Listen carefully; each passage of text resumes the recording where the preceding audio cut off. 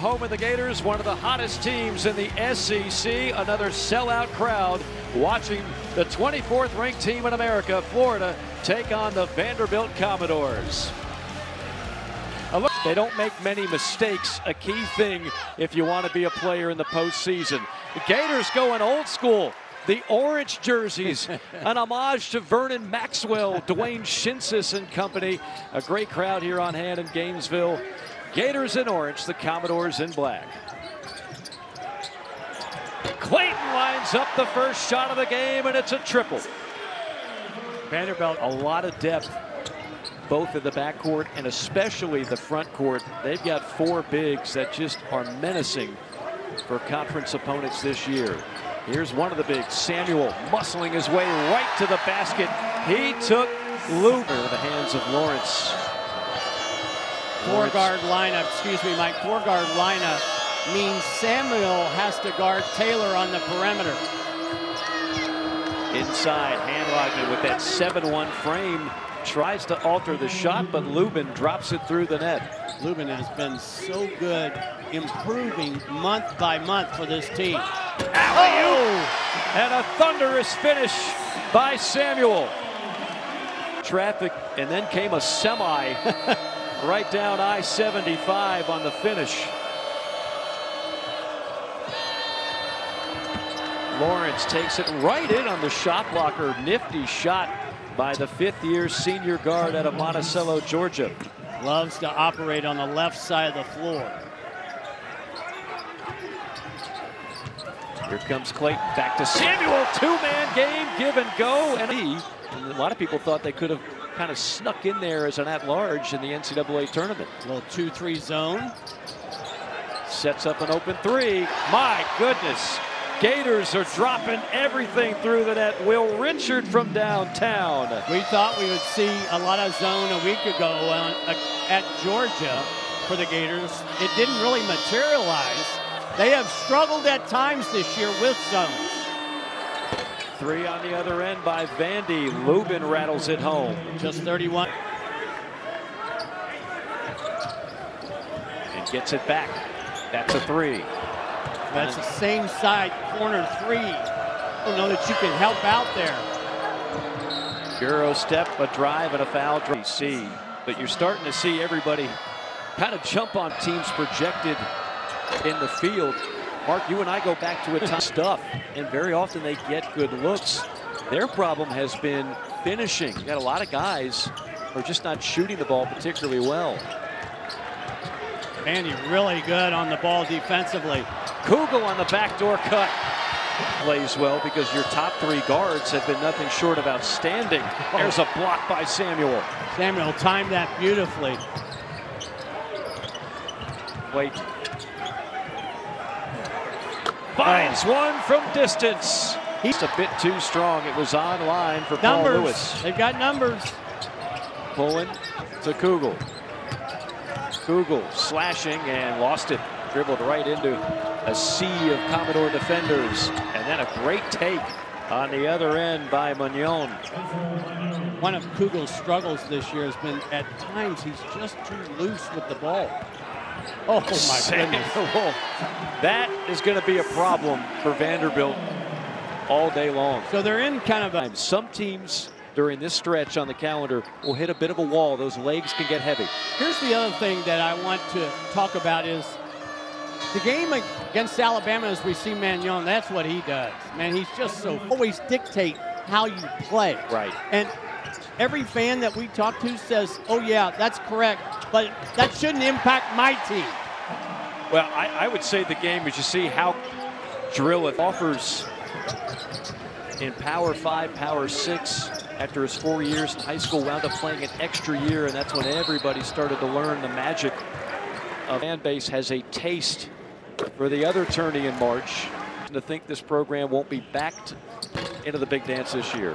Pulling off to a slow start in this game. 0 for 2 now from the field. Vandy's half-court defense really good at keeping the ball on one side of the floor. A shot that time by Manjon. Probes the baseline and has it blocked and somehow saves it. Open three, Richard. Got it. You mean that's the old throw it up underneath Yes. the backboard and then kick it out? Handlogten just puts those arms up with that seven foot one reach. Alters shots. Richard again. Richard with another three. Vandy just a step late in transition. Now, Presley, 6'6 freshman in the game for the Commodores. He gets it here. Passes up a three, the drive, and tries to stuff it on Handlogten. Which is not an easy thing to the area Presley has really struggled in this year. Just can't. Colonial Life Arena. Game, of course, now. At that buzzer beater, Oh, incredible. Tyrell Ward. And, and that was an immensely entertaining game as well. LSU's going to do good things under Coach Matt McMahon in time. Clayton on a pull-up. I thought Lubin came up. Say it did. I know it would stun me. Now, you and I would still be down for the count. More great action leads to another easy buck. Straight on three. Vanderbilt could really use a basket here. Three minutes remaining. Samuel, a block foul, and he'll go to the line. As close as you could get to the actual Ron Slay boom boom room. I, I mix it up.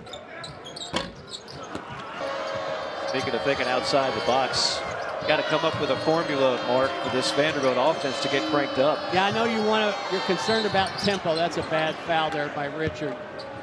You're towing the line.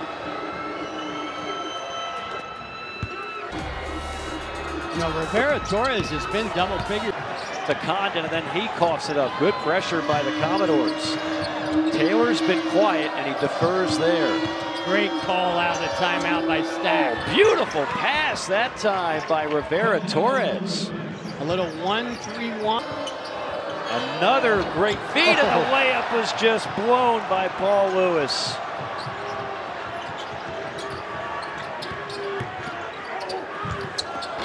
And there's Samuel crashing, another on the lane. Manjon in heavy traffic, he just threw that one up at the rim blindly. Gators will play for the final shot. Here's Clayton, down low to Condon, over to Richard on a three. Off the mark, and that's how the half will come to a close. But what a half it was for the 23rd ranked. Got to be able to score at a higher rate. Gators come in. Winners seven of their last nine and picking up right where they left off. Clayton from downtown. That's his third three. Kenny Boynton in 2012. See again, West passed up in three. Not a great three, but, but I don't know that you're going to get it better. That's the kind of shot you're going to have to take. And Nine games, 42% from behind the arc. They need him to heat up today. in league play, he's been 39%. Oh my goodness. Wow. Tyrese Samuel with an and one. Fall this year for Samuel. Young man out of Montreal. else raised their level of play, I think, to match Zyon Pullin because he's at another level. Samuel draws another foul. To get Pullin and to get Clayton in the portal. I mean, we talked some genesis of that relationship. And then, as it's well noted, Walter Clayton, including the Gators, where he took a visit. But nobody in the state of Florida wanted him on the basketball court. Both those guards to come to Gainesville. Lawrence has been quiet. Vandy will go to the line, offensive rebound. And when the Florida schools passed him over, he wound up playing with Rick Pitino to his guns and his principles. If you passed him over the first, that. So are, I asked him, "Are you worried about Manjon's size, holding up six feet, 170 pounds?" He said, "Guys, he's all muscle. He, he all comes into West. West right in on Samuel. A nice job that time drawing the foul. Samuel, one of the two conference victories on the year. The other, of course, women's swimming and diving championships. The Gators have won the last 11. Handlogten's posted up. Samuel can't get it to him. Instead, it's a turnover.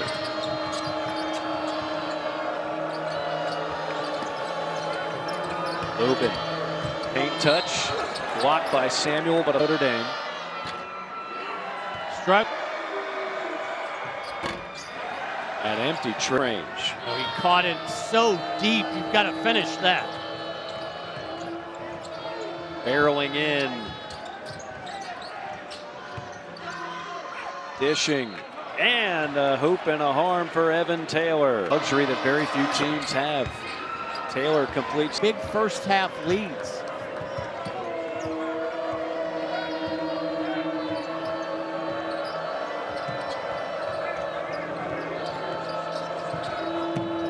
Great drive and a clear path to the basket by Manjon. Way too easy.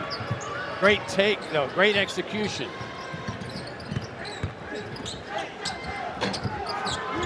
Samuel with an offensive rebound. Sets up Richard. That is what makes the Gators such a nightmare. Plus nine in rebound margin. They get a ton of second opportunities. And the quick hands by Richard. Picks the pocket of Manjon, Takes it all the way and draws the foul. And that's going to shape up after the weekend. More than this one, mm -hmm. uh, simply given seed range. Now a seven knocking on the door of a six. Uh, this is really an extraordinary, I don't want to say turnaround, I want to say evolution, if you will, for the Gators because uh, you know, a lot of teams, the whole is has six quad one wins, but they also have uh, Didi. Be the wrong person uh, because a couple of years ago they were my last team in and didn't make it. Uh, so a miss back in 2022. Um, you know, they three of their last five away from home.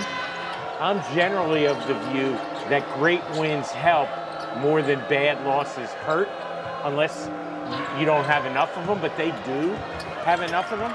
On a 5-0 run, trying to make things interesting here in Gainesville as Condon lo loads up a three. Uh, Joe, it's it's Mike. Let's talk about the game that follows us because it's intriguing for both teams. South Carolina's lost two in a row after gaining a lot of. Depending on results elsewhere, a win might get them back in, or might just be what I call a status quo kind of game. And hopefully, from their side, they're getting the Gamecocks at the right time. I think kind of inexcusable, really, to to to blow that game late at LSU. No disrespect to the to the Tigers there. Uh, Kentucky a six today. Uh, you know, ask me in a few hours what we should do with the Wildcats because I have no idea. Joe, final one for me, and that is from that standpoint, would you feel pretty safe at this point saying the well, they may, you know, equal the Big 12 at nine, have some bubble teams you, you, know, it's it's it's not like you get nine or ten bids and you put all your teams in the top half of the bracket. Uh, now we've got ourselves set up for a great SEC tournament. Uh, everybody will have their eye on the top teams uh, for Selection Sunday. So uh, I, I, think the SEC is, is set up for a great finish here, and uh, it's going to get even better next year. Clayton on a steal, takes it all the way in the finish. Great stuff from Joe Lunardi as always. Aberdeen fires up a knuckleball. I think come off the hands clean, did it? No, no rotation whatsoever. Long thought process and then pulling the trigger on a three. Is had all kinds of time to feel the seams. Kamateros a transfer from South Dakota. Condon banging bodies on Kamateros. Condon with the left, no, but a foul. Looked like he got hit on the head here at Exactech Arena, formerly known as the O-Dome. Action with the Rowdy Reptiles, another sellout crowd for a Saturday game in Gainesville from the entrance. Well, these are rare minutes because Manjon and Lawrence, neither one are on the floor. Deflected pass and a steal. Aberdeen ahead of the pack. Alley-oop to Haugh. Didn't mention the best part of the Haugh recruiting story the fact that he had an assistant coach, Kevin Hovde, now at Florida, was at Richmond. He was the first one to fall in love with Haugh. Look at that move. Oh. Kevin Hovde gets the job. I grew up a Tim Tebow fan, and I loved the campus in Gainesville. At that point, they had a feeling they were going to sign number 10 out of Pennsylvania. Condon, a definite mismatch on the six foot two Paul Lewis. but the pass. When scholarships were at a premium at that point, Florida was just about out. is as big a skill as any for a head coach in big time college basketball, all contributing for Coach Golden this year. A little continuity offense by Vanderbilt, turning it over from one side to the other. Vandy trying to cut into what was its largest. This might be the first game all season where Pullin has really not impacted the game a lot. Really haven't needed them. Clayton, goodness, such a pure offensive yeah. rebounds. He is an energizer bunny out there.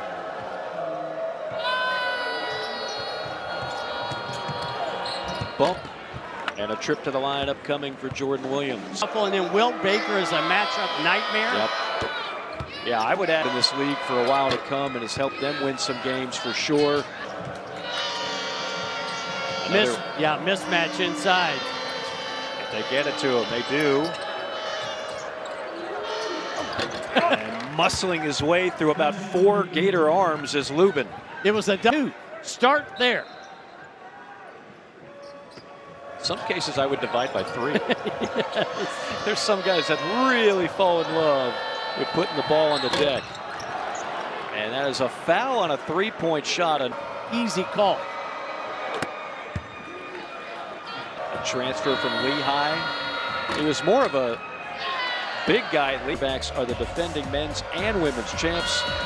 It's only right here on the SC. A win here would make it eight out of the last 10 in the rugged Southeastern Conference. Well, we are in the overlap part of the schedule, aren't we? Wow. Williams didn't even have the ball cleanly here. Over Texas A&M Aggie Jordan Williams and a 9-0 run for Vanderbilt. One thing about Jerry Stackhouse's teams, they never, and I mean never quit. Right. It's almost uh, just because. Then to spoil some people in a bad way, that is. Yeah. Off more than a few upsets in Nashville, and that'll certainly be the goal. I mean, think, let's you right now. I mean, Georgia's dangerous. I don't think there's a team in the country in the past five years that has had to deal with such key injuries as to what Vanderbilt has had to deal with. Whether you're talking about Darius Garland. Bouncy and aggressive Alex Condon at 6'11 and 10 rebounds. Right. He came into this game with 93, keeping up with his second leading assist to turnover ratio in the country at 4 to 1.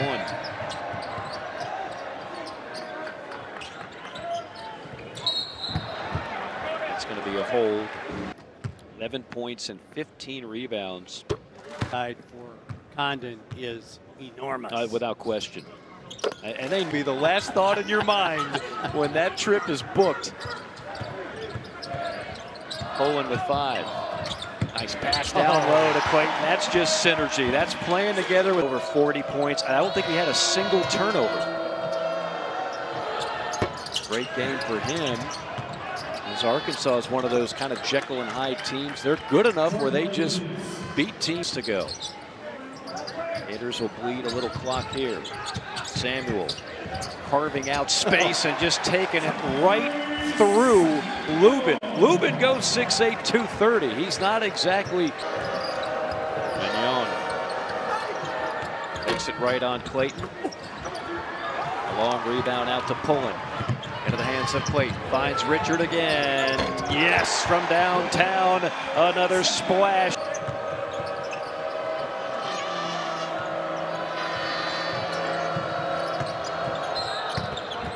Foul on Florida. Mike, watch this simple play. Straight.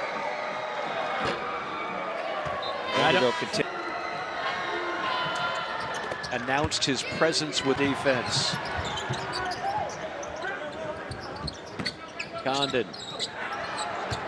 Condon, oh goodness, he got fouled about four times before he finally sells the call enough to go to the line. Growing up as a kid in the oh, backyard yeah. in Kentucky. Oh, yeah. I, Second one is up and through for Condon. The lead is 20.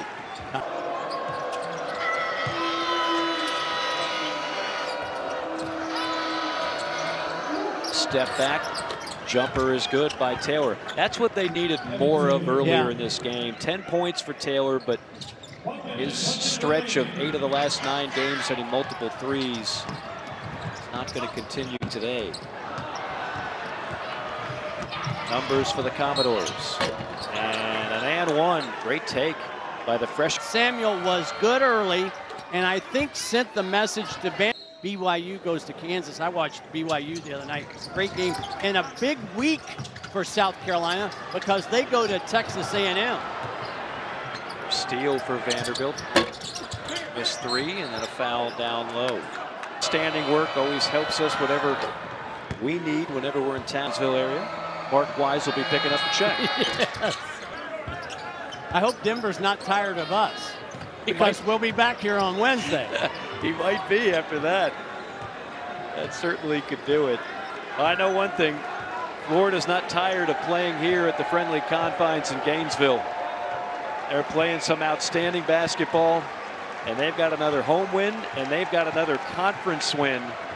Nine and five in the SEC, eight out of 10 overall. The tone was set in the first half, a 35-20 halftime score, and the Gators did what they needed to to hold on in the second half, six consecutive wins.